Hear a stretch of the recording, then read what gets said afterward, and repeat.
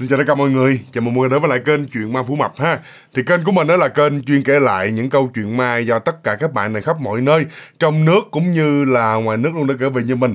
Thì nếu mà các bạn nào đó có những câu chuyện ma muốn gửi về cho mình để mình kể lại cho tất cả những bạn khác cùng nghe đó, Thì mọi người hãy gửi về cái email của mình tên là lâm sơn hoàng vũ a gmail.com Còn nếu không, các bạn cũng có thể là gửi về cái số Zalo của mình ha. Số Zalo của mình là 0938 773 799 Và một cách thứ ba nữa là mọi người cũng có thể là gửi về cái trang Facebook chuyện ma phủ mập của mình. Mình cũng có thường xuyên đăng những câu chuyện ma đặc sắc nhất lên trên đó ha. Mọi người là vào đó để mà xem chuyện ma cũng như là gửi chuyện về đó cho thuận tiện luôn. À, và còn đối với những bạn bè nào đó mà vừa mới biết cái kênh của mình lần đầu tiên đó thì các bạn cũng có là bấm đăng ký cũng như là bật chuông để ủng hộ cho mình. Bởi vì mỗi một lượt đăng ký của mọi người như vậy đó mình sẽ tự quy đổi ra một ngàn đồng trên một lượt đăng ký. Và tất cả những số tiền ở đó mình sẽ gom góp lại để mình đi giúp đỡ những hoàn cảnh đang khó khăn ha. À, rồi bây giờ là mình sẽ vào cái tiết mục đầu tiên là mình sẽ đọc tên những bạn đã comment ở tập 824 ngày hôm qua thì ở tập 824 ngày hôm qua đó các bạn mà comment được nhiều người yêu thích nhất đó, đó chính là bạn tên là Thanh Tuấn Nguyễn. Còn các bạn ngày hôm qua mà comment sớm nhất luôn đó, đó chính là bạn tên là Kim Sumin. Cảm ơn Kim Sumin rất là nhiều và cảm ơn Thanh Tuấn Nguyễn rất rất là nhiều luôn nha.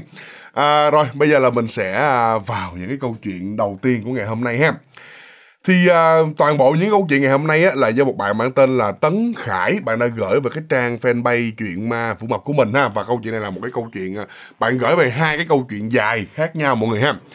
Thì câu chuyện đầu tiên á là bạn à, có kể về một cái lần mà bạn có um, đi làm cho một cái uh, cái công ty kia bạn có gặp vài cái hiện tượng ma sau đây bạn nói uh, cái lúc mà cái thời điểm đó mà bạn vừa mới đi làm á là bạn mới tầm khoảng có 16, 17 tuổi thôi. Lúc đó thì uh, do là cũng không có bằng cấp gì thành ra là bạn chỉ tìm được những cái nơi mà uh, người ta kiểu như tuyển lao động phổ thông này nọ rồi thôi mọi người ha thì à, khi mà tới đó như vậy đó là bạn có nhận một cái khối chỗ làm. Chỗ làm đó là một cái chỗ chuyên về đóng những cái tấm lịch mà treo tường mọi người biết không? Lịch treo tường là nó sẽ có một cái miếng dán gỗ như vậy nè rồi sau đó là cái cái cuốn lịch đóng vô đó thì nó có những cái máy ép này nọ đồ đó. À là thì cái đó thì không có cần bằng cấp gì cả. Vào trong đó chỉ cần um, lao động tay chân chút đỉnh thôi à và quên nói nữa bạn này là bạn là cái người ờ, nhà của bạn ở dưới bạc liêu á và bạn ở trong một cái xóm đạo và bạn là cái người đạo gốc luôn là bên bên bên đạo đạo chúa mọi người ha. Bạn là người đạo gốc luôn. Um, bạn nói từ nhỏ cho tới lớn á à, giống như mình hay từng kể là, là không biết làm sao từ đâu ra mà có rất là nhiều người người ta lại đồn đại là à ờ, đạo chúa đó mọi người đạo chúa đâu tin có ma đâu biết sợ ma sợ quỷ gì không kiểu như vậy. Nhưng mà thật ra thì bạn khải bạn nói là trong thâm tâm của bạn á thì bạn lại nói như vậy nè trong thâm tâm của bạn thì bạn rất là sợ ma. À, nhưng mà cái vẻ bề ngoài của mình mà tại vì từ nhỏ tới lớn được rất là nhiều người nói là à ờ, đạo chúa là không tin có ma là à, đạo chúa là không có sợ ma kiểu kiểu như vậy đó nghe. Đó nên thành ra cái vẻ bề ngoài thì bạn lại tỏ vẻ là mình không có sợ ma. Mọi người tưởng tượng được không? Ha bên ngoài thì rất là ghê gớm nhưng mà bên trong thì lại là mong manh dễ vỡ mọi người ha thì bởi vậy á, ở trong này bắt đầu là nó mới có một cái câu chuyện thế này nè. Lúc mà bạn đi vô đây làm á, không phải một mình bạn khải không, mà bạn nhớ đâu, hình như bạn nhớ mang máng là cũng khoảng cỡ 7 8 đứa gì đó cũng trạc trạc như bạn nè, cũng 15 16 17 18 đó từ mỗi đứa một tuổi tuổi như vậy đó. Thì khi mà vào đó là có bốn người là đã làm trước đó lâu rồi, bốn cái ông anh đã làm trước đó lâu rồi, cũng 17 18 tuổi.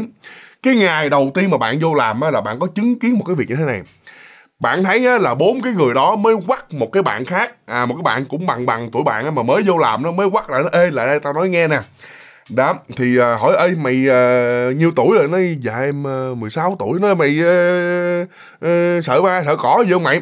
Thì cái bạn đó là bạn nói dạ em à, sợ ma lắm anh trời mấy cái đó sợ dữ lắm thì bốn bốn cái người kia mới cười nói à, mày giờ ngoan được. Giỏi trời đất ơi tưởng đâu mày không sợ ma chứ rồi sợ ma vậy được rồi không sao hết trơn trời ơi đúng là mày ơi mày còn nhỏ phải sợ ma. Thì bạn khải bạn chứng kiến cái cảnh như vậy thì bạn lại nghĩ à bốn cái người đó đang chọc quê cái người bạn kia. À là nói là sợ ma sẽ bị chọc quê thì bạn khải nói rồi. Nếu như mà bốn cái ông đó mà hỏi mình á là mình nói mình không có sợ ma để khỏi bị chọc quê chứ không gì vậy á đã thì đúng như thiệt luôn, khoảng chừng tiếng đồng hồ sau bắt đầu là bốn cái người kia khi mà làm lụng xong những cái giờ phút mà giải lao đó. Mới kêu nó ê, thằng kia mới vô làm lại biểu ơi nói ờ, dạ dạ nó mà mày tên gì nó dạ em tên khải. Ờ, năm nay mày nhiêu tuổi? Nó dạ em ờ, em 17 anh. Rồi, rồi, rồi, rồi mày vô làm rồi mày uh, dưới quê lên rồi mày sợ ma sợ cỏ gì không? Nó rồi anh ơi ba cái thứ rồi, rồi ma cỏ đó còn nít nó mới sợ chứ uh, em ở đây em không sợ. Em dưới quê này nọ đồ lum lá em đi rừng đi rú nằm hầm nằm hố nè không có sợ ma sợ cỏ gì trơn á. Đã thì bốn cái ông kia có vẻ là cũng hơi thoáng mà gọi là giật mình tại vì thấy ờ, ông khải này ông nói dữ dằn quá mạnh miệng quá nó là gì ghê mày. Mày chân ướt chân ráo lên đây rồi mày biết cái chỗ làm này có cái gì không mà mày mạnh miệng mày nói mày không sợ ma. Nói dạ không em ừ, ba có cái gì em với quê lên đây ma mà còn sợ làm gì mà sống được sao mà trưởng thành được anh? Không em không có sợ. Nói ờ đó đó mày ngon đó nghe mày cũng hơi mạnh miệng đó. Ờ, chứ rồi đó mày ở đây thời gian thử coi coi mày biết sợ ma hay không rồi bốn ông đó làm như mấy ổng mà biết uh, bạn khải không sợ ma không có chọc được đó. Nên thành ra cũng lơ lơ lơ lơ cũng đi làm. Thì bạn khải cũng đinh ninh trong lòng nó rồi ngon. Ha, mình thể hiện như vậy là mấy ổng là sợ mình liền nó bắt đâu là dằn mặt là sợ liền không có chọc phá mình nữa. Nhưng mà rồi bạn khải bạn rất là sai cái chỗ đó luôn nha mọi người nha. Thì bạn nói cái đêm đầu tiên bạn ngủ lại là cũng chưa có chuyện gì nhưng bắt đầu là hai bạn nói là hai ba bữa sau thì bắt đầu là nó mới có chuyện ha cái đêm hôm đó, đó là bạn ngủ là một mình à. lúc đó đó thì à, cái người chủ người ta cũng có hỏi nó à bây giờ mày ngủ phòng trọ hay là mày ở đây? Muốn ở đây thì để tao dọn một cái phòng kho nhỏ nhỏ để cho mày ngủ. Thì do là bạn đi làm bạn tiết kiệm tiền mà không có ra phòng trọ ở đâu. Nó nói ờ vậy thôi cho con xin cái phòng để con ngủ lại. Thì bạn mới ngủ ở trong cái phòng đó cái đêm thứ ba ha lúc đó bạn ngủ có một mình là nguyên cả một cái chỗ làm như vậy, nó rất là rộng lớn như vậy luôn nha. Kiểu như dạng như là nhà tiền chế mà nó rộng lớn như vậy mà chỉ có một mình bạn ngủ thôi. Mà lúc đó bạn còn chưa có tiền để mà sắm nổi một cái điện thoại nữa đó. Thành ra là bạn cũng nằm thui thủi thui thủi mình như vậy nè. Thì hồi đó nó chìm giấc ngủ, sáng giờ làm cũng mệt rồi, mới chìm vô giấc ngủ. Thì khi mà đang nằm ngủ giữa chừng như vậy thì bạn mới nghe cái tiếng như vậy nè. Bạn nói cái tiếng giống như người ta chài với nhám vậy đó. À giống như là xây nhà sơn tường mà chài với nhám nghe cái tiếng chài nè cứ sạc sạc sạc sạc sạc như vậy nè thì bạn cũng nhắm mắt tại vì buồn ngủ quá. Sáng giờ làm nó cũng hơi mệt. Mới vô làm có mấy ngày, chưa quen công việc nó mệt dữ lắm. Bạn cũng nhắm mắt, bạn để đó nói, giờ này mà sơn tường, sơn phết gì mà sao mà lấy giấy nhám? Chà, cà sạc cà sạc, khó chịu quá vậy. Mới đầu thì bạn nghe nó nhỏ, bạn nghe nó ở ngoài căn phòng đó, nó ở bên ngoài căn phòng thành ra là bạn cũng không có để ý.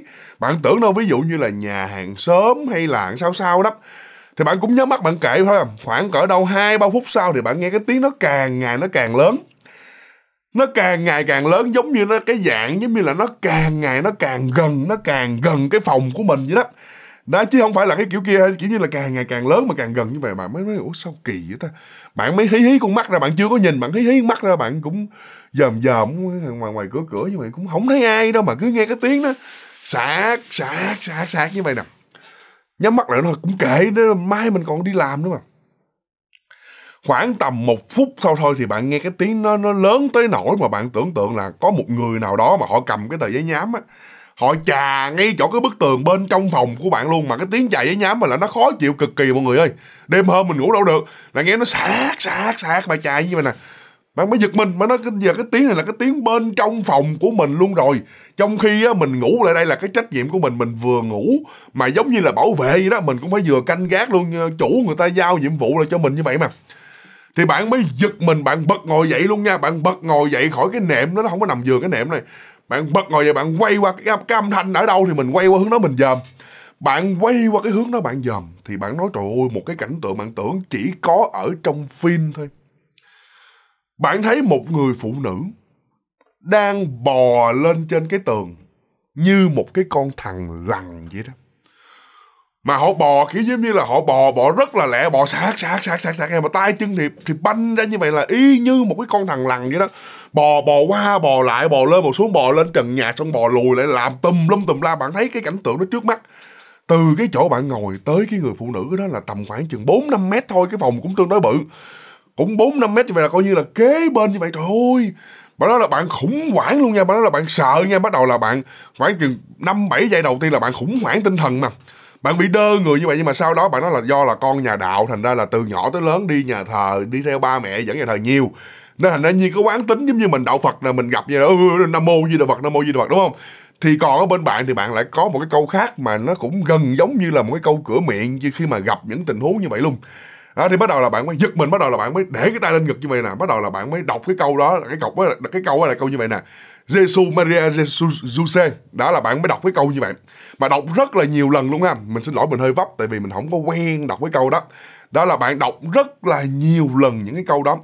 Rồi sau đó bắt đầu là bạn mới để như là ở cứ cứ là Jesus Maria Jose bạn cứ nằm xuống từ từ từ từ từ từ từ như vậy nữa nha thì khi mà bạn nằm xuống rồi, hai cái tay bạn vẫn để trên ngực và cái miệng của bạn liên tục đọc cái câu đó, cứ đọc đọc đọc như vậy nè. Nhưng mà vẫn chưa hết nha. Bạn cảm nhận khi bạn đọc được cái câu đó rồi, bạn nói là hai cái chân của bạn nó tê.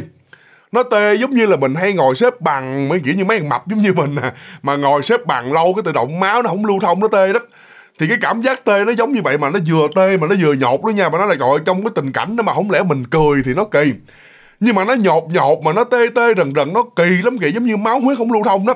Mà nó chạy từ mắt cá chân, nó chạy lên bạn cảm nhận, nó có một cái luồng điện nó chạy chậm. Chạy từ từ, chậm rãi chạy hết cả người của bạn luôn. Lúc đó là bắt đầu là khi trên miệng của bạn các bạn cảm nhận được là bạn bị đớ luôn á. Mới đầu mình đọc, kiểu như mình đọc rất là trôi chảy. Nó Jesus Maria Jose Jesus Maria Jose bạn cứ đọc trôi chảy như vậy mà từ từ bắt đầu bạn bị đớt bị đớt mà cái quai hàm của bạn nó cứng cứng là bạn đọc mà một hồi nó rất là khó khăn mà đọc như là cà lâm luôn á. Mà đọc không được luôn, bạn tưởng tượng như là họ họ họ làm bằng cách đó để cho bạn không có đọc được nữa luôn. Nó kinh dị tới nỗi như vậy nha. Mà đúng thiệt khoảng chừng 30 giây sau thôi là bạn đọc hết nổi luôn rồi. Nguyên cả cái người của bạn là nó cứng đờ mà mồ hôi một cái bạn đổ nhiễu nhão như vậy nè em rồi bạn mới quyết định bạn nhắm mắt lại, bây giờ mình không có đọc bằng miệng được, thì mình đọc bằng cái tâm đó mình suy nghĩ trong đầu cái câu đó mình cứ đọc suốt. Rồi sau đó là bạn cũng à, đọc thêm vài cái câu kinh kệ khác nữa. Bạn thuộc cũng vài cái cuốn kinh ở trong trong đạo chúa đó. Đó thì phải cỡ 5 phút sau bắt đầu là cái luồng điện nó mới giải thoát cho bạn đó. Bạn mới hết tê từ từ từ từ từ như vậy nè. Thì bạn mở con mắt ra thì bạn không còn thấy cái người phụ nữ trên cái vách tường ở đâu nữa mọi người phải nên nhớ là từ cái thời điểm mà bạn nằm xuống rồi bạn bị cái luồng điện nó đè bạn rồi bạn bị cứng họng đó, là suốt cái thời điểm đó bạn vẫn còn nghe cái tiếng sạc sạc nha. Bạn vẫn còn nghe tiếng sạc sạc sạc là có nghĩa là người phụ nữ nó họ vẫn cứ bò vòng vòng phòng bạn như vậy đó. Chẳng qua là bạn không thấy thôi. Lúc mà nằm xuống cái cái mắt bạn bạn bạn ngẩng lên rồi bạn nhắm mắt như vậy nè, cái tư thế giống vậy nè, thì bạn không thấy thôi nhưng mà bạn vẫn nghe. Là có nghĩa là họ vẫn bò xung quanh như vậy, mặc dù bạn đã đọc những cái câu kinh kệ rồi thì mọi người thấy là họ còn không có sợ những câu kinh kệ đó luôn nha. À nhưng bây giờ hết rồi nha bạn nói là tại vì bạn có giữ chìa khóa và bạn mới tóc người vậy bắt đầu là bạn mới chạy ra một cái quán cà phê. Thì khi mà chạy ra quán cà phê như vậy đó thì bạn mới lúc đó thì gần chỗ đó rất, rất là may mắn là có một cái quán cà phê họ bán sáng đêm dành cho những người đã ôm những người này người nọ đó quán cà phê rỗng mà suốt đêm đó. Thì bạn mới vô đó bạn mới mượn một cái một cái điện thoại bạn mới gọi cho một cái người bạn mà làm chung với bạn đó đó mới gọi cái người đó ra bắt đầu làm cái người đó mới chạy ra bắt đầu là mới gọi thêm uh, những cái người ông lớn nói chung là bảy bảy tám người mà hồi đầu chị mình nói đó. Đó là bảy tám người đó mới chạy ra quán cà phê với bạn luôn. À, thì khi mà đi ra đây mới bắt đầu người ta mới hỏi nó vụ gì? Bộ mày thấy cái gì rồi hả? Thì bạn cũng thật tình bạn mới kể lại cái câu chuyện như vậy. Thì những cái người đó họ mới nói nó thấy chưa? Đã ngay từ đầu tôi vô tao đâu có biết đâu tao mà biết mày mà mà mà mà, mà, mà sợ ma vậy đó là tao đâu có cho mày ở lại cái ngày đầu tiên mày vô tôi hỏi mày là có sợ không? Mày làm hùng làm hổ mày nói mày không sợ mình lum la. Thành ra là tao cũng im im luôn không có dám nói. Chứ ơi ở trong đó là dữ dằn lắm. Ma cỏ trời ơi, nó giống như là một cái động vậy đó. Buổi sáng làm đây nó ngang mà còn bị ghẹo tới ghẹo lui đó. Ban ngày ban mặt ngồi làm đó mà nó khiều tới khiều lui nó giấu đồ giấu đạt vậy đó. Y như trong phim vậy đó huống chi mà ngủ lại đó, thì bạn này bạn cũng cũng cũng kiểu như là rất là sợ, cũng xin lỗi nọ rồi cũng nhận ra à bốn cái người đó họ không có muốn chọc mình, chẳng qua họ hỏi để họ biết này nọ để mà họ giúp đỡ mình thôi, ha. Thì rồi đó, là những cái người đó là họ ở lại chung với lại cái bạn này là cho tới sáng luôn nha, ở lại chung với lại bạn khải là cho cho cho tới sáng luôn. Rồi sau đó bắt đầu là tiếp tục vô công việc làm thì khi mà làm như vậy nè cái lúc đó thì bạn cũng có ý định là bạn sẽ đi ra bạn thuê phòng trọ rồi. Nhưng bạn ngồi bạn tính á cái lương mà một người lương phổ thông này nọ rồi mà không có bằng cấp mà nó thật sự nha ở xã hội này nếu mình không có bằng cấp mà còn không có khả năng làm nó chỉ lao động phổ thông đó thì thường rất là dễ bị chèn ép về những cái tiền mà lương thưởng này nọ rồi nó, nó, nó, nó như vậy. Không phải là Việt Nam không đâu mà ở nước nào cũng vậy cả thôi. Thậm chí á, là có những đất nước nó còn khắc nghiệt hơn nữa đúng không? Nên thành ra bạn tính cái tiền nhà trọ, tiền nước, nôi này nọ, tính tới tính luôn thì nếu mình làm vậy chứ thôi, chắc tới tháng, chắc dư được chừng 500 ngàn không tới nữa. Nhiều khi mình mua thuốc ờ, thuốc lá, cà phê còn không đủ để mua nữa. Nên thôi, bây giờ biết sao? Giờ một là sợ ma, còn hai là sợ hết tiền. Lúc đó bạn vẫn quyết định ngủ lại cái cái căn nhà đó. Nhưng mà bạn có nói với những cái người kia đó là ừ, mấy anh ơi, mấy anh giúp em em không có tiền, em không có ra phòng trọ, ngủ được. Bây giờ mấy anh có thể là có ai mà rảnh qua ngủ với em cho em đỡ sợ. Những cái người đó rất là tốt nha, mọi người nha. Chia nhau ra luôn mọi người. À là ừ là bữa nào rảnh thì thằng này ngủ với nó, thằng khải ha. Bữa nào, bữa sau thì thằng khác ngủ với thằng khải, kiểu như vậy. Đó, thì trong vòng khoảng cỡ gần một tháng đầu tiên bạn làm là có người ngủ chung với bạn thì thật sự là không có gì hết à ngủ ngon này nọ, với lại bạn cũng nói là bạn lúc đó thì bạn cũng để dành tiền và ấn lương đó bạn mua được một cái điện thoại cũng là cảm ứng, nhưng mà dạng như là cùi bắp thôi. Cũng lên youtube này nọ được, bạn mới bật những cái câu kinh của bên chúa đó, bạn để trên đầu nằm bạn ngủ đó thì rất là may mắn là cũng không có chuyện xảy ra. Cho tới một hôm hôm đó đồng loạt những cái người mà đã từng ngủ chung với bạn đó, những cái người đó bận hết. Chỉ còn có một mình bạn mà bắt buộc bạn phải ngủ một mình, thì nó lại tiếp tục xảy ra chuyện và lần này nha, nó còn kinh dị hơn, mình yêu cầu mọi người phải tưởng tượng vô trong cái câu chuyện này, thì mọi người sẽ thấy được cái sự kinh dị của nó. Lúc này nè, mọi người phải hiểu cái tâm lý đó, khi mà trong suốt một tháng trời, ngày nào thì bạn khải cũng được một người ngủ kế bên mình hết, mọi người tưởng tượng không? Tại vì cái cái phòng nó nhỏ, cái cái cái nệm nó nhỏ như vậy nè, mà hai người ngủ chung thì bạn khải, bạn phải ngủ vào một bên, còn cái người còn lại là sẽ ngủ một bên đó thì cái đó đó là gọi là một cái thói quen rồi, một tháng trời liên tục rồi. Nên thành ra đêm nay ngủ một mình thì vẫn như vậy, bạn cũng nằm, bạn nằm sát vô trong tường, bạn kiểu như thói quen mà.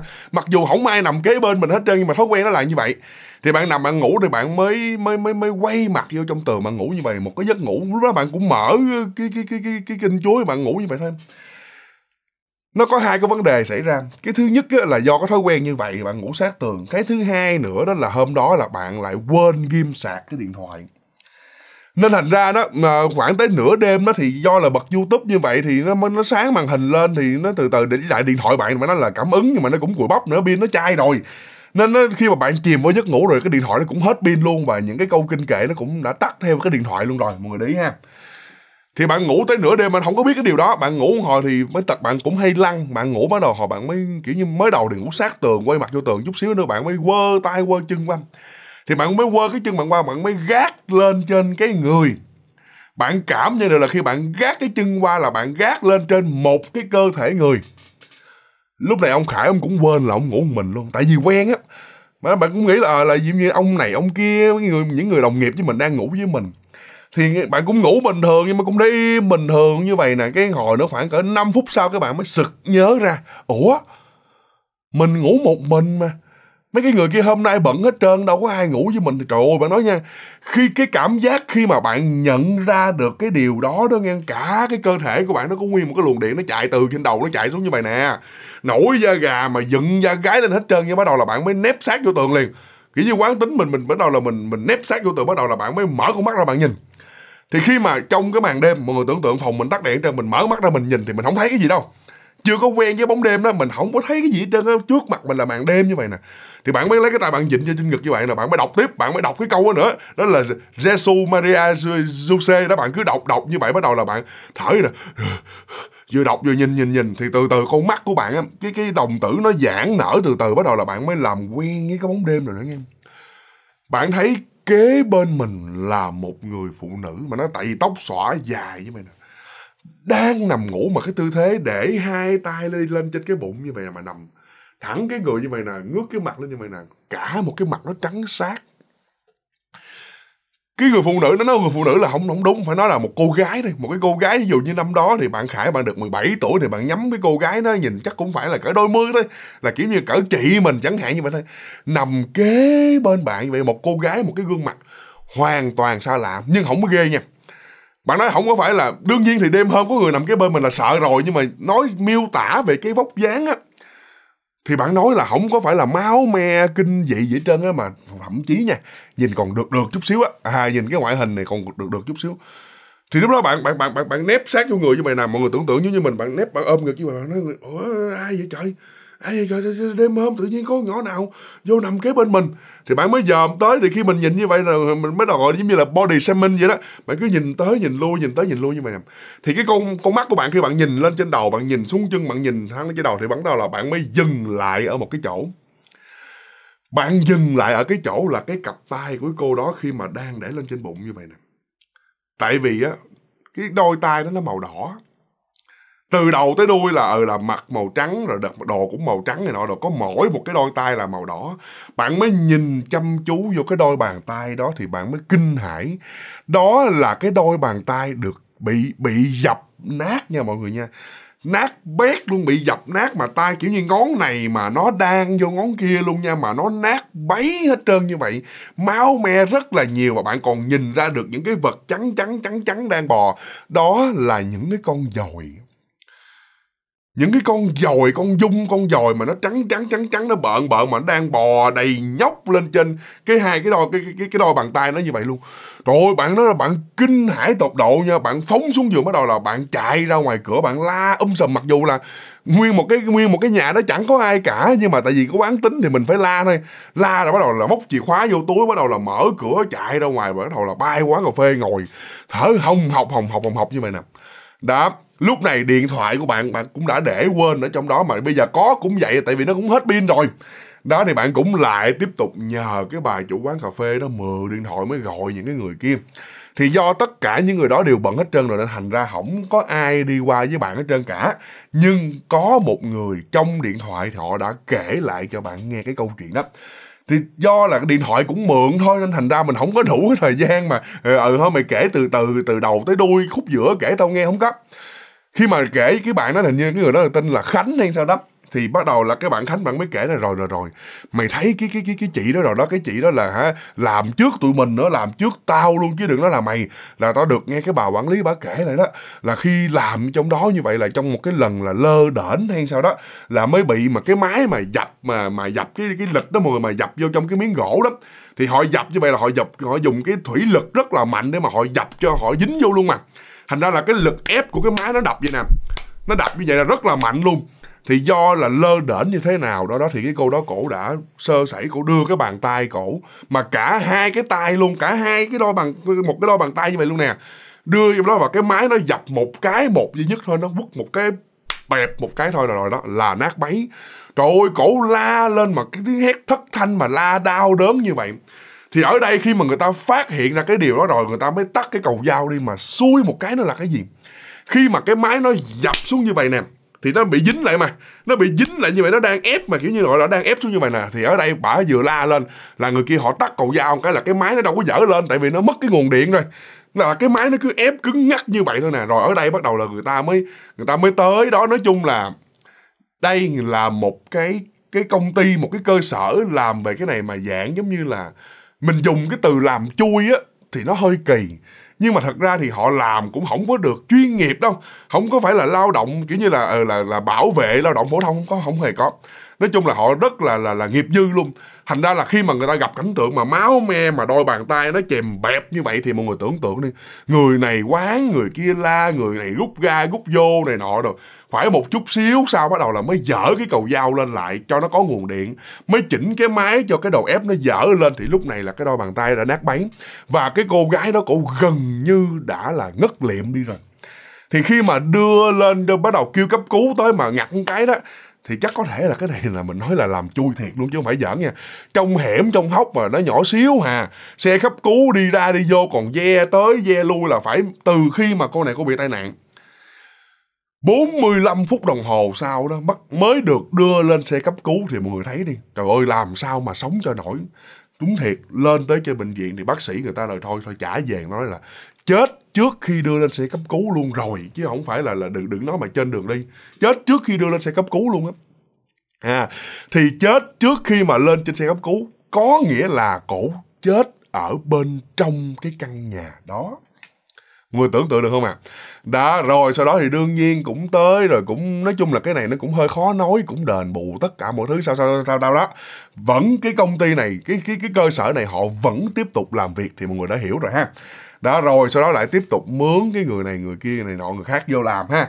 Và cái máy đó đó là họ đem đi bán luôn, họ họ đi bán sắc dụng luôn, bởi vì không ai ngồi cái máy đó được cả cái máy nó không có bị hư, nó không có bị hư hao gì hết trơn đó, nhưng mà không ai ngồi được.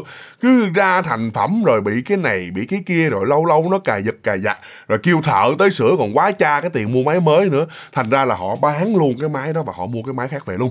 Và những cái câu chuyện đó là hầu như được giấu nhẹm. Giấu nhẹm bằng cách như thế nào? Đuổi hết một cái dàn lao động phổ thông cũ.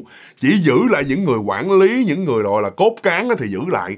Còn những người làm việc mà lao động tay chân đó là đuổi hết trơn à, đương nhiên là cũng phải cho thêm một mớ tiền để giữ bí mật. Rồi sau đó mới thuê lại hết cái dàn lao động phổ thông sau vô để làm. Và trong đó có bạn Khải và cái nhóm bạn của bạn Khải đây. À, thì sau khi mà nghe được cái câu chuyện đó đó thì bạn này bạn rất là sợ. Tới sáng hôm sau là vô là đệ đơn là xin nghỉ đó. Tại vì kinh dị quá xin nghỉ này nọ rồi ghê quá đi thì cái ông ờ, cái cái cái cái cái ờ, ông chủ này nè, tại vì cái thời gian đó là cái thời gian cũng đang là kiểu như là gần gần rằm tháng 7 mọi người ha. Gần rằm tháng 7 thì không biết lý do tại sao thì họ làm rất là cao điểm nên thành ra là họ nói ờ bây giờ là sẽ hứa tăng lương cho bạn Khải ngang rồi là sẽ kêu người ở lại ngủ chung với bạn Khải. Nói chung là o bế dữ lắm kìa, làm sao để cho bạn Khải đừng có nghỉ? Bởi vì thật ra là bạn Khải làm việc, cái năng suất làm làm việc của bạn Khải cũng rất là tốt đó thì do cũng được tăng lương mà bạn này bạn cũng khổ nữa, nên thành ra là thôi, cũng chấp nhận ở lại làm chứ biết làm sao giờ.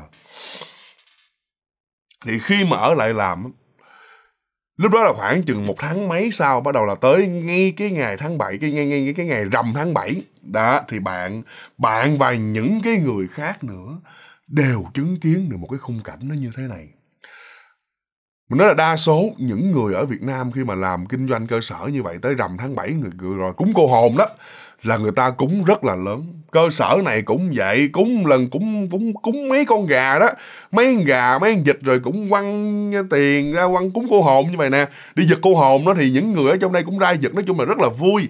Thì rồi sau đó đó thì những cái người chủ họ đi về, những người quản lý họ đi về đó thì họ mới nói, thôi bây giờ nhân cái dịp đây bây giờ gà vịt này nọ rồi cũng cả đóng cả lèn thôi để uh, chú uh, tặng cho bay uh, hai thùng bia nữa.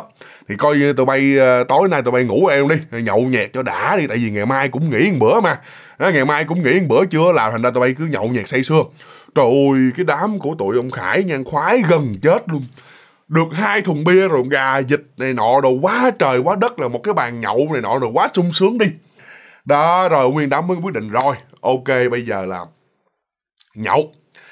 Thì trong cái quá trình đó đó là lúc đó là những cái bàn cúng á, nó vẫn còn nằm ở trên đó chưa có hạ xuống nha chưa có đem gà vô chặt trộn gỏi gì chân chứa làm gì đó đang đợi ông chủ ông đi ra ông mua hai cái thùng bia ông đem về rồi sau đó nguyên lắm nguyên một đám mới sắn tay áo làm.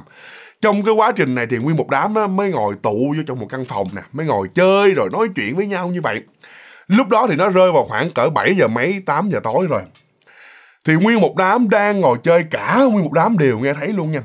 Đang ngồi chơi như vậy nè mới nghe ở đằng trước cái chỗ mà cái bàn cúng á mới nghe cái tiếng mà cười giỡn rồi nghe cái tiếng mà giành giật là đổ tháo tùm lum tùm la. Thì nguyên đám mới hết hồn nó ê ông chừng mình để đó chừng cái tụi nhỏ trong xóm hay là mấy đứa vòng vòng đây nè nó tưởng là để cúng cho nó rồi nó tới nó, nó giật nó chạy đi mẹ trơn là mấy con gà ăn dịch dễ mất lắm. Cái chuyện mà giật cô hồn mà giật luôn con gà là chuyện bình thường đúng không? Thì nguyên một đám bắt đầu mới đứng lên mới dòm mới thử coi, trời ơi, cả đám đứng lên khi mà dòm ra rồi, nguyên một đám chết chân tại chỗ mà đứa nào đứa nấy là rung lẩy bẩy. Nguyên một đám thấy nha, ở ngoài đó đúng là con nít. Nó lóc nhóc hết trơn luôn nha, nó nó có mười mấy đứa nha, mà đầu thì trọc lóc nha, ở trần, ở truồng mà nó trắng nõn nà luôn nha mọi người nha.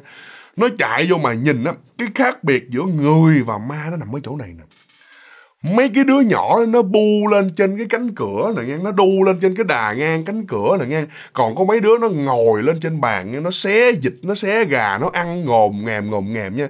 Rồi nó đẩy nó cười nó đổ nó giỡn nó đổ nó đẩy qua đẩy lại nha mà đứa nào đứa đấy nha da dẻ nó nhợt nhạt lắm kìa. Con nít mình nó ở trần ở chuồng nhiều khi là nó bóng nó, nó trắng này nọ rồi nha mà cái da dẻ nó rất là kỳ. Nó xám xịt rồi mà nó nhợt nhạt nó kỳ lạ lắm kìa nôm na nhìn một cái là biết là ma. Nội cái chuyện mà con nít mà trời ơi trời nó nó nó còn đang biết bò nó chưa biết đi nữa mà nó đu lên trên cánh cửa như khỉ vậy đó. Thì còn gì nữa mà mà mà mà nói nữa. Trời ơi, bắt đầu là bảy tám đứa đứng ở trong phòng là đứng cứng nhắc luôn, không có dám chạy ra luôn. Nhìn một hồi nữa là không có dám nhìn nữa nha. Nhìn chút xíu thôi là không có dám nhìn nó nguyên đám mới bu vô nó. Trời ơi, thấy chưa, ghê thiệt chứ. Ở trong đây đó lúc trước giờ tao nghe toàn là nói là dông người lớn không mà. Bây giờ không ngờ ở đây còn có dông nhi nữa trời đó thì người này người kia mới nói thì trời ơi rằm tháng 7 mà. Những cái dông nhi này họ đâu có phải là ở trong cái xưởng của mình đâu. Họ còn ở ngoài kiểu như là rằm tháng 7 mà xả cửa ra thì uh, ờ, muốn đi đâu đi. Thì chắc có thể là người ta thấy mấy đứa đó nó thấy cái bàn của mình cúng như vậy nè. Gà vịt đồ ê hề để bây giờ nó bu là nó ăn. Đó thì đang đứng nói chuyện gì vui vẻ gì đó. Ừ, phải, phải, phải, phải vui vẻ. Mà đang đứng bàn tán xôn xao như vậy đó thì ngay lúc này mới nghe cái tiếng kèn bóng tin tin tin tin. À, bia về nè mấy đứa ơi ra lấy bia đi. Đó thì bắt đầu nguyên đám mới dòm ra thì thấy ông chủ ông đậu chiếc xe ông mới ginh hai thùng bia ông để dưới đất như vậy nè. Rồi xung quanh là không còn cái đứa dông nhi nào hết trơn đó thì bảy tám đứa này mới nhào mới chạy ra chú ơi chú ơi chú ơi ghê quá chú ơi ghê quá chú ơi. Thì ông mới đứng lại ông hỏi cái gì mà ghê. Bắt đầu là mới kể lại câu chuyện ừ vậy vậy vậy vậy thì cái ông này đó mình nói với mọi người đó là ông tin á, ông biết có ma, ông thừa biết là cái căn nhà của ông là có ma luôn. Nhưng mà ông khi mà ông nghe nhân viên, ông nghe lính nói lại như vậy, ông nói, ôi em có đâu mày ơi, khùng điên quá, ở chỗ này tao làm, tao mướn từ xưa tới bây giờ, làm gì có ở đâu, không có đâu. Ông cứ chối bài bãi bài bãi bài bãi như vậy đó. Thì ngay lúc này đang đứng tranh cãi qua đúng không? Bảy, tám đứa nói nói có, còn ông kia ông nói không, đang đứng tranh cãi qua lại như vậy đó. Thì sọc lên mũi của tất cả những người ở đó một cái mùi hôi tanh. Một cái mùi hôi tanh cực kỳ luôn nha, mới đầu nguyên một đám mới nhìn qua bên cái bàn đó. Con gà, con vịt này nọ rồi những cái bánh trái, những cái cháo này nọ để mà cúng cô hồ, mọi người biết rồi đó, nó hư hết ráo nó hư hết trơn mà nó thúi ình, thúi ịt hết trơn mà nó nó kiểu như là nó nó bị thiêu mà thiêu xanh, thiêu vàng hết trơn như vậy luôn đó. Đó, thì ngay cái lúc đó ông chủ nó, ông thấy cảnh tượng đó, ông không nói tiếng nào trơn. Ờ, Tôi bay coi lại nhậu nhẹt đi nha chú đi về, chú còn lo cúng ở ở nhà chú nữa. Lên xe là quay xe một chạy lè một, chạy một cái dù luôn là ông sợ tới nỗi như vậy rồi, bảy, tám đứa ở đây nhìn nhau thôi, nhậu nhẹt cái gì nữa mà nhậu. Đó mà hai thùng bia thì không dám bỏ bỏ nó uống đó là giác hai thùng bia đem mua quán cà phê mới hùng tiền vô lại mới mua mò rồi ngồi nhậu bên quán cà phê chứ không có dám bước qua bên này luôn nha mọi người nha. Đó, rồi sau cái hôm đó, qua hôm sau được nghỉ mà bắt đầu là mấy hôm nữa là cả một đám bắt đầu là mới quyết định là xin nghỉ trong bảy, tám đứa đó là bao bạn Khải và thêm hai, ba người nữa xin nghỉ. Còn hai, ba người kia thì họ không có nghỉ do là họ cũng cần tiền hay sao sao đó, không biết. Với lại một phần nữa là họ cũng ờ, buổi sáng đi làm rồi buổi tối về nhà trọ mà. Nên thành ra là họ vẫn tiếp tục làm. Còn riêng bạn Khải và hai, ba người nữa là xin nghỉ luôn, chứ không có dám làm ở trong đó luôn. Tại vì bạn Khải bạn nói như vậy nè Bây giờ ở càng lâu thì càng phát hiện ra rất là nhiều những cái hiện tượng ma như vậy. Thì bây giờ mình nếu làm nữa rồi sau này mình gặp thêm cái gì nữa rồi sao? Càng ngày cái mức độ kinh dị nó càng tăng dần tăng dần như vậy. Thôi thà nghĩ chứ biết làm sao giờ.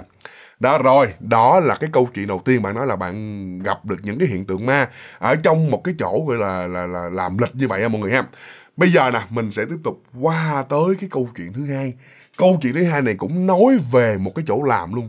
Nhưng mà cái mức độ kinh dị của nó và cái kiểu như là cái cốt truyện của nó nó còn ghê hơn cái câu chuyện đầu tiên nữa nha mọi người nha.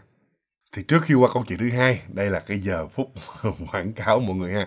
Tới lúc này mình ngại là mọi người, nhưng mà thôi, trang trải cuộc sống, mọi người thông cảm nha, để vợ chửi thì à, để nói với những bạn nào mà đã bỏ qua tập ngày hôm qua mà chưa xem thì đây là cái món mới của tháng này mọi người ha. À, bên mình thì bán đồ ăn vặt thì cứ mỗi một tháng hoặc là hai ba tuần gì đó thì mình mới sẽ đưa ra một cái sản phẩm mới chứ mình không có sản ra sản phẩm ào ạt được. Bởi vì ra cái nào là phải phải phải phải chất lượng cái đó mọi người ha. Thì đây là cái món khô bò que nha mọi người ha khô mà khô à, khô bò que mọi người. Thì nó giống như là khô bò viên vậy nhưng mà cái dạng như là nó que que dài dài và cái con bò, cái thịt bò đó, thì nó cũng giống như khô bò viên, nhưng ngoài cái hình dạng nha, nó còn có những cái gia vị này nọ, tất cả mọi thứ tẩm ướp đó, nó đều khác hết trơn luôn. Nó chỉ giống khô bò viên là gì là chất lượng của thịt bò nguyên liệu, và cái thứ hai nữa là cái cách sấy, cái nhiệt độ sấy này nọ rồi đó, cái kiểu như làm khô lại đó, thì nó giống này. Còn lại hoàn toàn, đây là một cái món hoàn toàn khác với khô bò viên luôn. Mình nói như vậy để mất công mọi người nói ờ thôi ăn khô bò viên rồi, thôi giờ mua khô bò que làm gì, sai lầm nha cực kỳ sai lầm luôn. Đã mình nó mình ngược lại hoàn toàn luôn. Là đã ăn khô bò viên rồi là phải thử cái khô bò que này để coi là nó sẽ khác biệt nó như thế nào. Mà mình tin mình đi mua về đó là một cái món hoàn toàn khác luôn. Và thêm một cái nữa là do cái này đó là do mình tẩm ướp nó cũng uh, hơi uh, hơi lạc lạc chút xíu thôi, nó không có đậm đà nhiều như khô bột viên, thành ra là mọi người có thể là cho thêm một người thêm là hai bịch tương ớt. Tương ớt cho limet đàng hoàng nha, hàng chất lượng đàng hoàng nha. Về mà chấm vào là là nó sẽ bị, nó sẽ được bùng vị hơn mọi người ha. Rồi mọi người nên mua thử thì cái giá của nó thì nó vẫn bằng với lại khô bò viên, nhưng mà cái hũ nó bự hơn. Cái hũ nè, nó đây là hũ khô bò viên, còn ở đây là hũ khô ờ, bò que nè, nó bự hơn một chút xíu mọi người ha, tại vì cái que nó dài dài như vậy nè.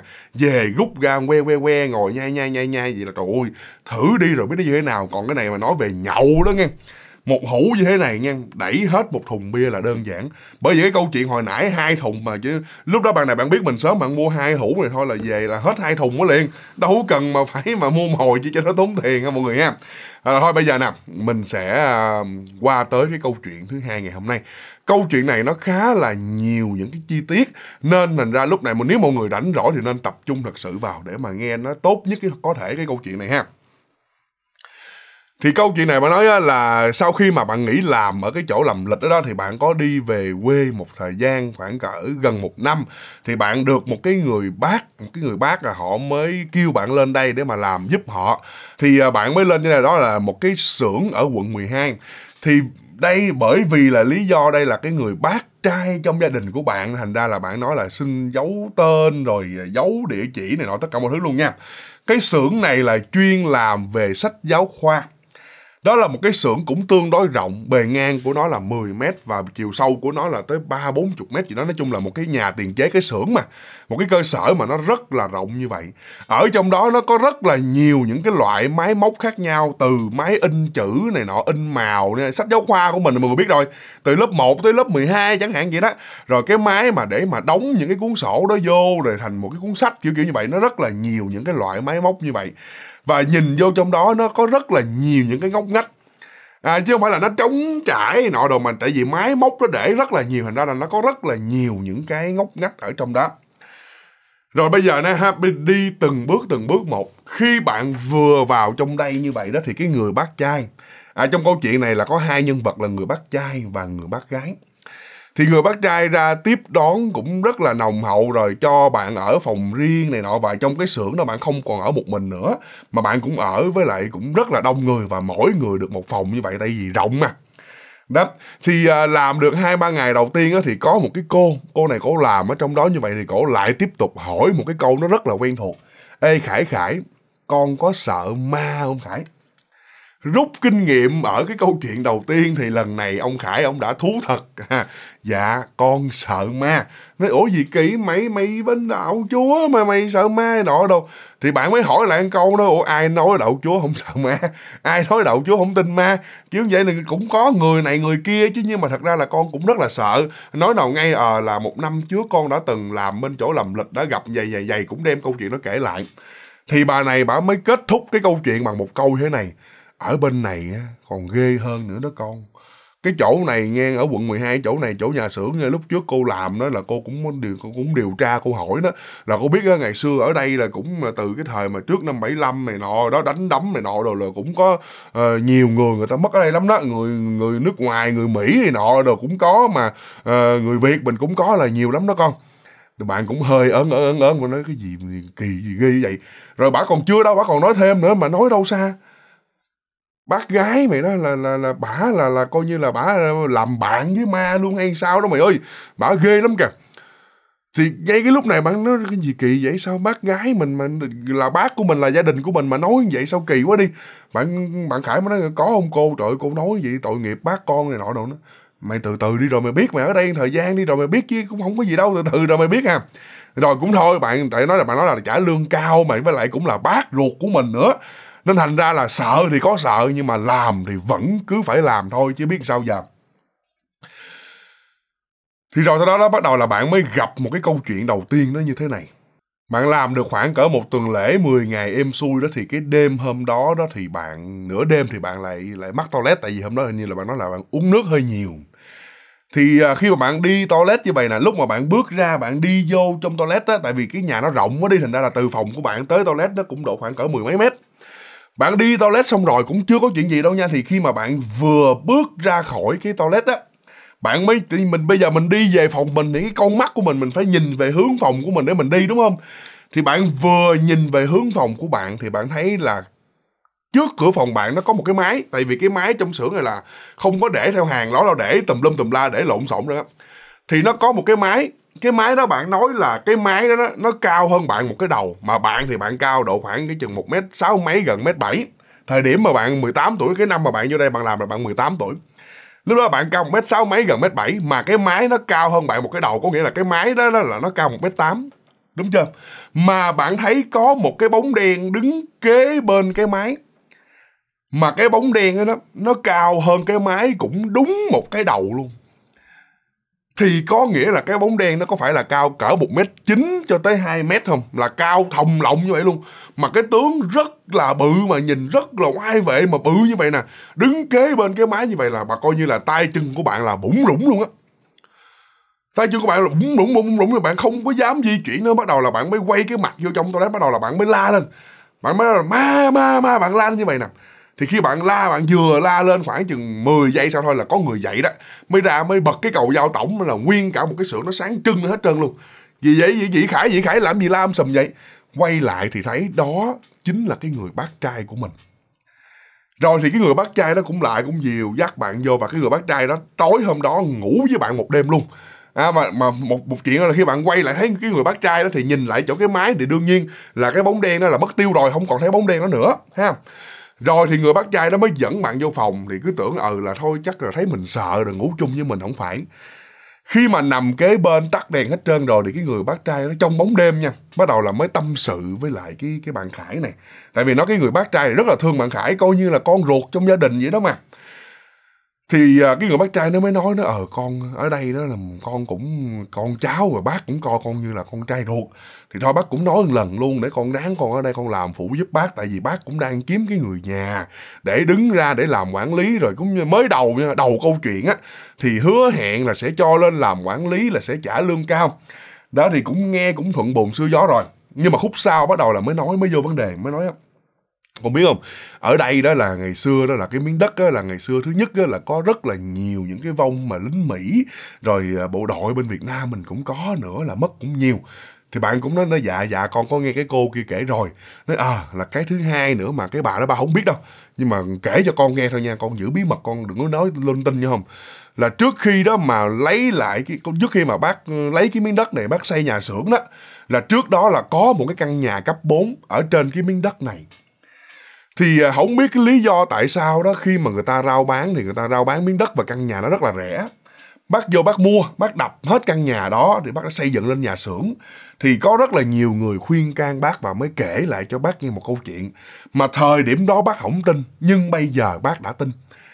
Người ta kể là trong căn nhà này ngày xưa là có hai vợ chồng và hai đứa con nhỏ sanh năm một. Là đứa khoảng cỡ năm bảy tuổi, đứa tám chín tuổi, kiểu như vậy đó thì không biết lý do tại sao là qua một đêm, không biết là bị trúng thật hay cái gì thì không biết, là qua một đêm cả gia đình bốn người đều chết hết luôn, đều mất mạng hết trơn luôn.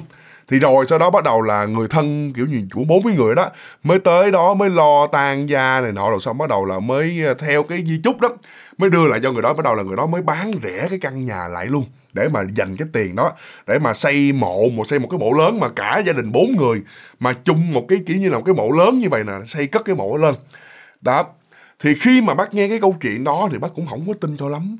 Cho tới sau này khi mà về đây làm rồi đó nghe, bác mới tin. Tin là bởi vì bác gái của con thường xuyên thấy một vong lên à có nghĩa là bốn người mất nhưng mà cái người bác gái đó đó chỉ thấy được một cái vong nhi trong số bốn người đó thôi. Và bác gái thường xuyên nói chuyện với cái người đó. Lâu lâu bác thấy đứng nói chuyện một mình này nọ, bác lại bác hỏi thì giấu. Nhưng mà thời gian sau thì bác đã phát hiện ra rồi. Thì khi mà nghe được cái câu chuyện đó như vậy đó, bạn này bạn nó lấy rất là lầm lạ. Bạn mới hỏi cái người bác trai một cái câu như vậy nè tại sao nhà có ma như vậy rồi thì bác lại không kiểu như bác gái bị như vậy rồi đó? Tại sao mình không có dẫn bác gái đi coi thầy coi này coi nọ? Thì bác trai mới nói là đã từng dẫn đi rồi chùa chiền lớn tây ninh rồi an giang thất sơn bảy núi đi hết. Nhưng mà cũng không có hết được người ta chỉ nói là trừ khi nào đó là bán cái nhà xưởng này đi chỗ khác á, thì may ra mới hết thì lại hỏi nữa, nói, ủa vậy lý do tại sao bác không bán cái nhà xưởng này đi? Tưởng đâu á, cái câu trả lời sẽ là à là bác kẹt tiền hay là bán không có được giá nhưng không phải. Cái người bác trai này mới nói đó, tại vì cái người, những cái vong mà đi theo bác gái đó, họ không có hại gì cho bác hết trơn mà thậm chí còn làm cho cái công việc của bác nó suôn sẻ hơn nữa. Và mới nói thêm một cái điều này mà bạn nghe nó rất là vô lý nhưng mà không biết là có phải đúng hay không thì bác trai mới nói là cái vong nhi đi theo bác gái đó là giống như một con ma mét. Ví dụ như trong nhà xưởng có lính họ ăn cắp những cái sự, những cái cuốn sách giáo khoa đó, nguyên bộ bộ như vậy nè. Họ ăn cắp để mà họ tuồn ra ngoài, họ bán ra ngoài, chợ trời cũng được giá lắm chứ bộ thì cứ mỗi lần như vậy là cái vong nhi đó họ sẽ mét với cái người bác gái. Và người bác gái mới kêu ra bắt đầu là mới giống như là phát hiện được cái chuyện như vậy. Rồi những cái người nhân viên mà họ làm không có được nghiêm túc này nọ đó, là cái vong đó họ đều mét lại hết trơn luôn. Là cái người bác gái ra là xử lý triệt để luôn. Giống như cái vong nhi đó đó, họ giúp đỡ cho hai vợ chồng bác trai này. Thành ra mới quyết định ở lại và không có bán cái căn nhà đó thì khi mà bạn Khải bạn nghe được mỗi câu chuyện này nha, bạn nói vào cái thời điểm đó đó, 50 50 thôi chứ bạn cũng không có tin hẳn rồi tại vì nghe nó vô lý quá. Gì mà dông theo phù hộ rồi ma mét này nọ đồ. Nghe nó có vẻ là nó không có được tin cho lắm. À, nhưng mà rồi thì bạn cũng nghe tại vì bác trai mình nói vậy thì nói sao thì mình nghe vậy thôi chứ biết sao giờ. Rồi, sau đó tầm khoảng được thêm khoảng cỡ chừng vài tuần lễ nữa thì bắt đầu là bạn mới chứng kiến cái chuyện như thế này nè đầu tiên bạn nói á, là về cái phần máy móc của mình làm á. Nó hay bị hư lắm tại vì thứ nhất là cái máy nó cũng đã cũ rồi chứ cũng không phải là tâm linh gì. Cái máy nó hay bị hư lên hư xuống mà bạn cũng là tay mơ mới vô làm cũng không có biết sửa chữa. À, thì thay vì là một cái người đàn ông hay là một cái người bộ phận bên máy móc kỹ thuật này nọ tới sửa thì không. Cái người sửa cái máy đó chính là cái người bác gái mà bà sửa làm sao mọi người biết không? Khi mà máy hư, bắt đầu bạn mới nói bác ơi, máy nó bị hư rồi, có ai lại chỉnh giùm con không? Cái người bác gái đi te re te re lại dỗ vô cái máy dỗ mà giống như mà nó là tivi ngày xưa mà. Coi mà nó bị hư, mình dỗ dỗ lên cho cái đầu tivi nó bị mát đó dỗ dỗ nó hết đó thì y chang như vậy luôn. Cái người bác gái đi lại dỗ dỗ lên. Thôi con, đừng phá nữa con, thôi ráng chạy đi ờ, ờ, kiếm tiền thôi nha, đừng quậy phá nữa nha. Cái máy chạy sạch sạch sạch sạch ngon ơ luôn. Ông khải, ông ngồi, ông hả cái họng ra, ông dòm như vậy nè mới hỏi, ủa, bác cái máy nó hư gì? Bác nói, bà mới nói gì nè. Ờ máy đây nó vậy đó, con không gì chứ con cứ làm đi. Mà cứ hai, ba bữa nó hư lần là kêu bả tới là bả cứ dỗ bập bập bập bập bập như vậy là là cái máy nó hết. Mà vừa dỗ vừa nói nha. À mới đầu thì tưởng đâu là nói với cái máy đó, xưng cái máy là con mà xưng mình là ờ, là mẹ nọ đồ, tại vì cái máy của mình. Nhưng thật ra không phải. Đang nói chuyện với ai đó, bà đập vô cái máy mà con mắt bà nhìn nó đâu đó, bà đập vậy nè. Thôi đừng có quậy phá nữa nghe không? Để ờ, để cái máy nó chạy nghe không? Đừng đừng chọc phá nữa nghe không? Là cái máy nó chạy im ru lắm. Đó là lúc đó từ từ là bạn tin vào cái câu chuyện của cái người bác trai kể lại là nghe. Chưa khúc này mới ghê nè.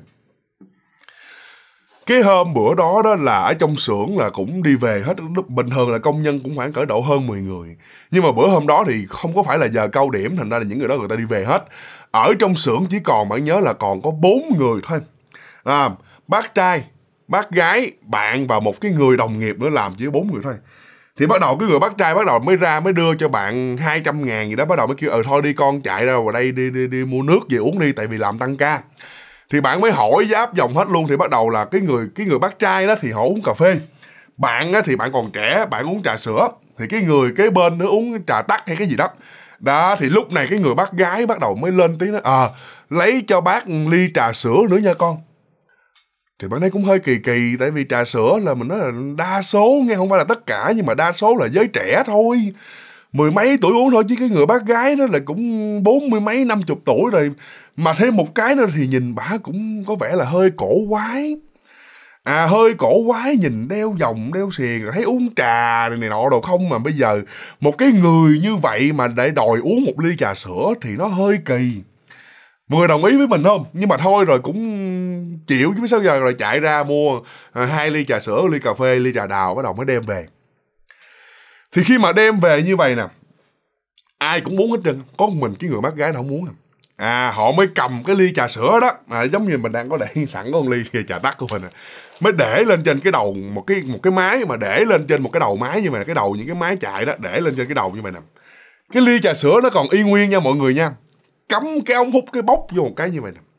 Để rồi mình tiếp tục công việc thì bả là bả là chủ, nhưng mà thật ra bả bả vẫn sắn tay lên bả phụ nhân viên nè.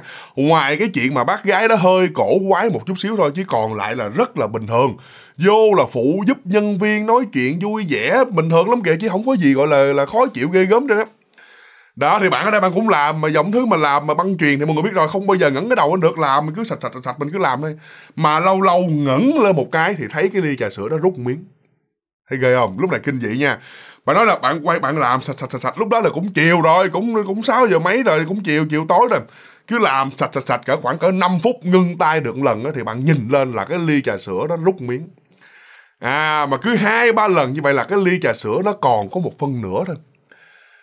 Thì do là bạn không có chứng kiến được cái cảnh là có ai uống hết trơn mà cũng không có thấy được là cái bà bác gái đó bà uống bạn cũng không biết này thì bạn mới quay qua bạn hỏi cái người kế bên đó, ủa, hồi nãy giờ trời, sao bác gái bà ờ, uống trà sữa hết ta thấy còn nửa ly?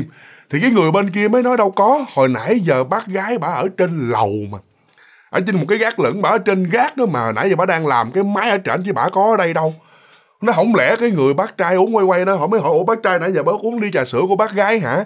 Nó đâu có đâu mày, trời ơi, ba cái thứ đó uống cái dở ẹt rồi tao. Nó, đời nào mà tao đụng vô mấy cái ly đó mày. Tao uống cà phê này nọ, đồ trà đó, chứ còn bác cái trà sữa, tụi bay khoái thôi chứ. Rồi tao béo thế, bà tao đâu có khoái đâu. Vậy thì cuối cùng là ai uống? Ha. Rồi thì ngay lúc này nữa, khoảng chừng 15 phút sau bắt đầu là nghe cái tiếng, nghe cái tiếng này đó là cái tiếng mà ọe ọe ọe như vậy đó thì cái người bắt bắt gái họ vừa đi xuống. Vừa đi xuống mà họ vừa ọe như vậy là bắt đầu là họ mới nói. Vừa đi mấy người bắt gái mới nói trời ơi ờ, khải ơi ờ, con mua cái ly trà sữa cái gì mà nó dở quá vậy con? Ờ, trời ơi trời ơi mắt ối mắt nhợn quá sao mà nó nó dở dữ vậy con ơi? Trời ơi, lúc đó là người nào cũng nổi da gà ngoại trừ là cái người bác trai tại vì họ biết rồi cái người ông bác trai không biết mà từ đầu tới đuôi là bạn không muốn bạn nói chiều cái buổi tối hôm đó đó, bạn vô cái phòng camera, bạn coi lại, đúng thật sự. Từ đầu tới đuôi là cái người bác gái đó, họ chỉ cầm cái ly trà sữa, họ đâm cái ống hút, cái bốc một cái, họ để lên trên cái đầu máy rồi họ đi lên trên lầu họ làm đó từ đầu tới đuôi coi camera là là cái người bác gái đó không hề đụng vô trong cái ly trà sữa luôn. Mà cái ghê nữa là như vậy nè, khi mà mình coi camera, mình coi chế độ tua nhanh á thì khi mà tua nhanh mà nhìn kỹ tại vì camera nó cũng mờ nhưng mà vừa đủ thấy là cái ly trà sữa đó rút rút rút rút rút rút, rút giống như là gọi là bay hơi vậy đó giống như cái hiện tượng mà bay hơi. Chứ không phải là ừ, là được hút lên rồi chảy ra không có mà chỉ là nó bay hơi nó rút từ từ từ từ từ như vậy nè. Từ đầu tới đuôi người bác gái nó không hề uống dù chỉ một ngụm. Mà bây giờ lại đi xuống ọe ọe nói là à là cái ly trà sữa đó dở quá này nọ lắm bạn cũng rất là bối rối tự nhiên mình bị chửi ngang như vậy nó dài thì con đâu biết con mới lên thì con thấy có một quán trà sữa gần đây thì con mua thôi. Thì cái người bác trai đó bắt đầu nó ờ không, không có gì đâu rồi rồi thôi để tôi biết rồi bây rồi, rồi thôi bà bà cứ lên làm đi để được rồi để mốt tôi mua trà sữa ngon ngon nữa cho nó uống cho. Nghe kỹ rồi mọi người ha. Thay vì nó ờ à, thôi bà đi lên đi một hồi nữa là tôi một bữa sau tôi mua trà sữa ngon cho bà uống cho không phải nói như vậy. Thôi bà đi lên đi, để bữa sau tôi mua trà sữa cho ngon cho nó uống cho. Nó rất là khác nhau nha mọi người nha, giống như là mua trà sữa cho một cái người nào đó không hiện diện ở đó để mà uống. Bạn khải, bạn nghe tới đó là bắt đầu là bạn nổi da gà cục cục, bắt đầu là bạn tin một trăm phần trăm vô cái câu chuyện mà cái đêm hôm bữa bác trai đã tâm sự với mình là cái người bác gái đó đó là có một cái sự kết nối với một cái vong linh nào đó, giống như là làm bạn vậy luôn đó. Đó rồi lâu lâu ở đây bạn làm nha, bạn bạn bạn làm cái đây bạn nhìn lên trên gác thì cái gác cái kiểu như nhà xưởng họ làm bằng cửa kiến thôi thì bạn thấy là cái người bác đó, cái người bác gái đó, họ đứng, họ nói chuyện khum với mày nè. Đứng thẳng người mà khum xuống mà nói chuyện với một ai đó, giống như mình nói với con, với em mình mình đứng, mình cao, mình khum xuống mình nói chuyện vậy đó. Là cái người bác gái đó khum khum khum khum xuống nói chuyện mà nhìn tới, nhìn lui, nhìn qua, nhìn lại. Không thấy một người nào có một mình cái bà bác gái thôi. Mà nói chuyện rất là vui vẻ rồi còn lấy cái tay còn xoa xoa xoa xoa đầu như vậy nè. Rồi nhìn mới không khéo đó nha, mà người ngoài nhìn vô đó tưởng bà bị tâm thần không lắm bà đứng mà nói chuyện mình mới xoa đầu như vậy đó. Nhưng mà những người nào ở trong câu chuyện biết được thì mới biết là bà đang nói chuyện với bạn của bà. Mà bạn của bả thì không phải là người dương đơn giản như vậy thôi. Thì rồi đó ngay lúc này thì bạn vẫn cứ tiếp tục làm thôi. À, bạn cũng rất là hy vọng vào những cái lời hứa hẹn của cái người bác trai của mình là mình sẽ lên làm quản lý rồi là tăng lương này nọ. Rồi mình bạn nghĩ trời 18 19 tuổi mà được làm manager quản lý này nọ là cũng kinh khủng nhưng mà rồi đó, nó có một cái chuyện nó xảy ra với bạn đó là cũng gần cái dịp tết, bạn nhớ là khoảng cỡ, nếu mà tính tháng dưới đó nha, là khoảng cỡ tháng tháng 10 tháng 11 ở dưới rồi đó, là gần tết rồi đó. Thì nó xảy ra mỗi câu chuyện mà bạn bắt buộc bạn phải nghỉ làm và lúc đó là cái người bác trai cũng đồng ý cho bạn nghỉ làm luôn là bởi vì như vậy nè. Cái thời điểm đó là vào cũng, lúc đó cũng gần tết nhưng mà kiểu như sách giáo khoa này nọ rồi cũng không phải là cái cái cao điểm đâu. Làm cũng leo que leo que vài người như vậy nè thì bạn nói cho một cái lần lúc đó đó là bạn có đi nhận một cái máy để bạn làm bạn đóng cái cái sách giáo khoa như vậy mà nó đóng cái bìa cứng đó là nó nằm tốt ở dưới cùng cái cái cái cái cái, cái xưởng luôn. À cái xưởng là phía đầu phía cuối cùng như vậy nè. Thì bạn xuống dưới đó bạn ngồi mặc dù là cái xưởng đông người hơn mười mấy người lận nhưng mà toàn bộ những người đó họ đều ngồi ở phía trên cho mà cái xưởng nó dài ba bốn chục mét thì mọi tưởng tượng đi. Đó thì bạn ngồi ở dưới cùng là bạn cách xa những cái người đó lắm ở đằng sau lưng của bạn là một cái phòng kho để mà chứa kho này nọ để chuẩn bị giao cho khách những cái giấy dụng này nọ được kiểu như vậy bạn đang ngồi làm ở đây trong cái khung cảnh lúc đó là bạn nhớ là 11 12 giờ trưa chứ không phải là trời tối nữa. Bạn đang ngồi làm như vậy nè, bạn nghe rõ ràng một cái tiếng nói cười của một đứa con nít và một cái người lớn ở đằng sau lưng mình. Bạn nghe cái tiếng nói mà du cũng là nói tiếng việt thôi nhưng mà do là à, ở trong phòng nói ra thì mình nghe không có rõ kiểu kiểu như vậy đó. Là tiếng nói là cười giỡn này nọ đồ rất là vui luôn. Lúc đó bạn cũng hơi thoáng sợ bạn cũng hơi nổi da gà rồi dựng da gáy lên chút xíu như vậy này nhưng mà bạn cũng đinh bạn cũng bình tĩnh lại bạn đinh ninh là bạn nói à thì mình biết cái người bác gái của mình là cái người theo hệ tâm linh như vậy rồi thì chắc bây giờ là cái người bác gái đang trong phòng rồi cũng đang nói chuyện với lại cái cái cái người bạn đó, cái người con, cái phong nhi như vậy đó, là như như những lần trước mình thấy đó. Chỉ là hơi ghê một cái là lần này mình nghe được cái giọng nói của cái bé vong nhi đó luôn. Từ đầu chuyện tới bây giờ là chưa thấy, chưa nghe mà bây giờ đã thấy luôn rồi. Ôi dạ, dạ, xin lỗi mọi người là đã nghe luôn rồi. Đã nghe cái giọng nói của người vong nhi luôn rồi, thành ra là không hơi ớn ớn ớn. Mà do là cái máy nó đang chạy chạy đóng cạch cạch cạch như vậy là bạn không có ngưng tay được tại vì ngưng tay một hồi là cái máy nó bị, kiểu như nó bị lỗi, nó bị hư ra những cái sản phẩm lỗi sao? Đó, thì bạn đang làm làm làm, bạn cũng nghe cái tiếng nói vui vẻ đằng sau lưng như vậy là cười cười, nói nói như vậy nè. Thì bạn làm, bạn vừa ngưng tay một cái bắt đầu bạn mới ngẩng cái mặt lên bạn nhìn. Bạn ngẩng mặt lên bạn nhìn thì bạn thấy rõ ràng cái người bác gái của mình đang đứng ở đằng trước á, đang đứng ở cái, mấy cái máy ở đằng trước đó, cách độ khoảng cỡ vài chục mét ở đằng trước như vậy nè. Thì bắt đầu là bạn mới thoáng bạn giật mình một cái là, ủa, gì kỳ vậy? Cái người bác gái đang ở trên đó vì cái người mà đang nói chuyện này nọ rồi hai ba người nói chuyện đằng sau lưng mình là ai? Bạn chợt bạn quay một cái nha. Tại vì đó là cái căn phòng kho làm bằng cửa kính chứ nó không phải là làm bằng cái cửa ém bạn quay qua thì dạ trong cái cửa kính đó, đó là bạn kiểu như phản chiếu trong cái cửa kính đó là bạn thấy có hai cái bóng đen một cái bóng đen đang đứng và một cái bóng đen kiểu như là cũng đứng luôn mà kiểu như là thấp thấp như vậy là hai người, một người thấp, một người cao như là đang đứng và nói chuyện rồi rồi vơ tay, múa chân này nọ rồi rất là vui vẻ luôn. Rồi, bạn nói là bạn khủng hoảng tinh thần nha. Bạn nói là bạn đứng là bạn phóng, bạn chạy, bạn la làng, la sớm bạn chạy thiết là lẹ đi lên trên đó như vậy đó. Rồi thì khi mà bạn la như vậy ha bắt người bác trai mới đứng ra bắt đầu là mới cản bạn lại này nọ rồi cũng khuyên bạn rồi là, là con nhớ hôn.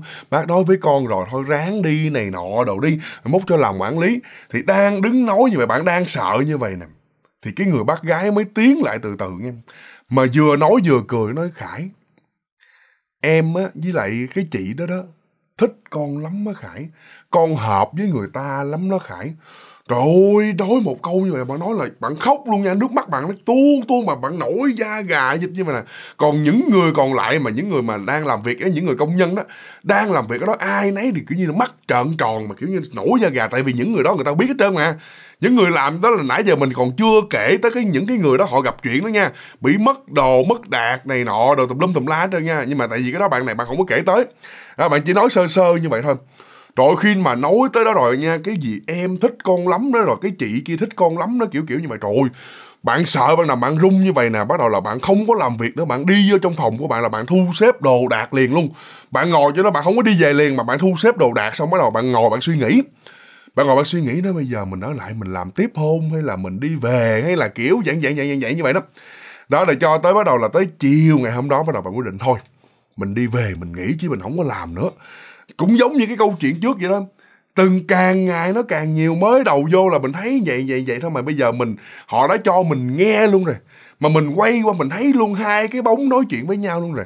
Mà cộng thêm một cái bà bác gái, bà nói với mình là hai cái người đó thích mình lắm nữa, hợp với mình lắm nữa thì mình ở lại mình làm nữa thì chắc sau này này nọ thì mình sẽ giống như cái người bác gái luôn. Là mình sẽ sống theo cái hệ tâm linh như vậy, là mình có thêm một cái người bạn, là người âm luôn này nọ, kiểu như vậy bạn rất là sợ và đứng lên ra bắt đầu là lại nói chuyện riêng với người bác trai. Mới bày tỏ quan điểm như vậy thôi con sợ lắm kiểu kiểu như vậy. Thì cái người bác trai mới nói rồi vậy thôi để ờ, bác tính lương cho con rồi bác ờ, tặng con thêm tháng lương rồi cho con thêm tiền vé xe về nữa. Cái người bác trai nó cũng nói cũng cũng nói thẳng nữa nó ờ à, thì bác cũng tính con như bác nói rồi đó. Tính đưa con đây là người nhà vô rồi cho con làm khoảng chừng năm năm mấy đưa con lên làm quản lý nhưng mà thôi lỡ cái chuyện nó xảy ra vậy rồi bây giờ con lại uh, nhẹ vía quá con hợp với hai cái người đó quá nên con ở lại cũng không có tốt đâu. Thôi thôi uh, một mình bác gái bị thôi là tao đã đã đã đã mệt mỏi lắm rồi. Bây giờ thêm mày nữa tao coi mày như con.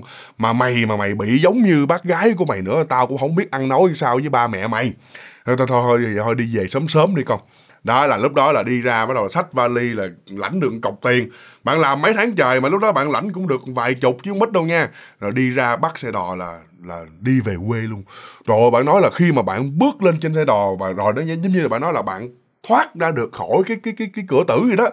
Bạn bạn ngồi lại, bạn ngồi trên xe, bạn tưởng tượng lại là bạn ở trong đó giống như là bạn bị dụ dỗ ở trong đó vậy đó.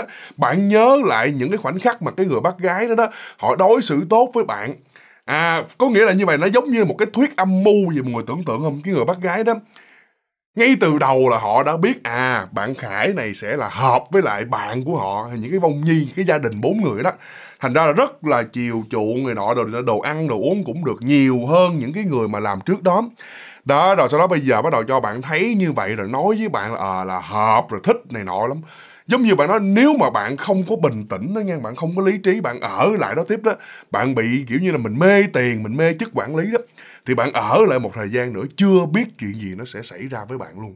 Nó nó kinh dị tới nỗi như vậy. Rồi sau đó bắt đầu là bạn đi về nhà và bạn lại kiếm một cái việc khác làm ha mọi người ha? Rồi, thì á, cái câu chuyện á, nó cũng à, kết thúc ở đây luôn. Nên thành ra, trong cái câu chuyện này nó không có quá nhiều cái cái cái hình ảnh kinh dị. Nhưng nếu mọi người tưởng tượng mà những người nào có kinh nghiệm về tâm linh sẽ nhận ra được có rất là nhiều những cái vấn đề về cái cái trong cái trong cái căn nhà này.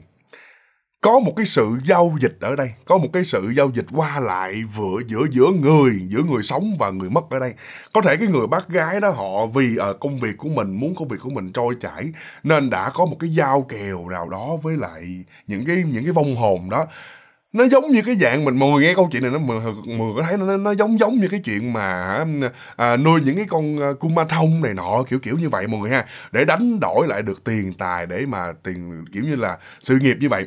Đó thì bạn khải ở đây có thể là một cái nhân vật gọi là sẽ là hiến tế cho những cái vong hồn đó. Đó nên nếu mà ai có sự tưởng tượng tốt nghe câu chuyện này là sẽ cảm nhận được cái điều đó liền mọi người ha khá là kinh dị ha rồi thôi, đó là hai cái câu chuyện dài do một bạn tên là Tấn Khải. Bạn đã gửi vào trang fanpage cho mình và nó cũng kết thúc đây luôn. Rồi cảm ơn cả nhà rất rất là nhiều vì đã lắng nghe những câu chuyện tới giờ này mọi người ha. Rồi đừng quên là mình đã có khô à, một món mới là khô bò que mọi người ha, một cái món hoàn toàn khác với lại khô bò viên và có thể là sẽ à, ngon hơn nữa nếu mà những người nào mà thích cái à, về cái gia vị như thế này mọi người hay là mua để mà ăn thử nha. Vào trang ăn vặt du com hoặc là Shopee để mua hàng ủng hộ cho mình nha. Cảm ơn cả nhà rất rất là nhiều luôn nha. Vũ Mộc xin chào tất cả mọi người.